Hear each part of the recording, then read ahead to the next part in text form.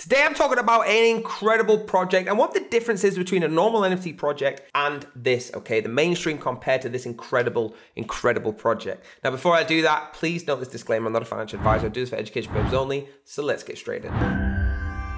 Guys, we're talking about DAO4.art. If you haven't heard of this already, I don't know what kind of niche you're looking at right now because it is incredible, okay? They are computable and incentive compatible block structure, automatic NFT contract deployment, revenue generating DAO token. Guys, I'm going to talk more into this as well. This is the overview of the website. You've got explore collections, ranking, create more, and you're logging in your wallet up at the above, okay? All the questions that you need to ask will be in here if they're not from this video. Okay, what is the DAO? If you don't know what it is, it's a decentralized autonomous organization, aka DAO. All right, you have all different views in here and different roles. I'm going to talk about that now. Now, what's the difference with this project, guys, rather than other projects on the NFT space? Okay, first of all, NFT artists. All right, the NFT artists that make all the NFTs in a normal project are completely singled out. They're not really known, they're not really respected enough other than the NFT, you could happily go and buy an NFT without knowing who the artist is, right? Whereas on here, okay, they have direct access with the NFT, with the sculpting of what's happening within the NFTs. I have up to 100% direct commission, minus obviously the platform fees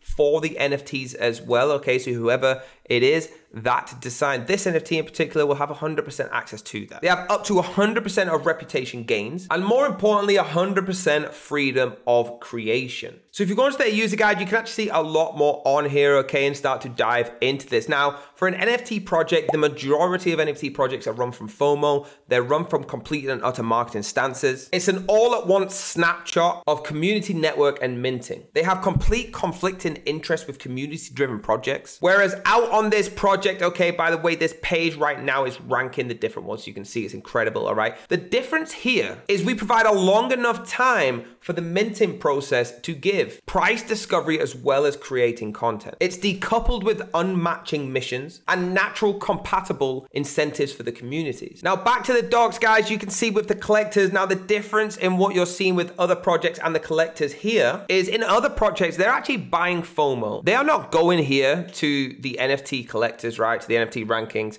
and buying the artwork. They're not actually buying for the art. It's a complete worst risk to return structure in the normal narrative of NFTs. There's no access to content creation and no access to incentives for overall growth. Now, here on this project, as you can see, all right, we actually have an optimal risk return structure. You can get in direct touch with the content creators, okay? So clicking on any of these NFTs, you can actually get a direct contact to them. And you could get exposure to the collection on a further growth, guys. This is why we're, it's such a different league at DAO4.art to what we've seen before, right? Guys, there we have it. Thank you, thank you so much. Please do me a favor, hit that like button, hit subscribe, and the bell if you want to be notified, and I'll see you next time.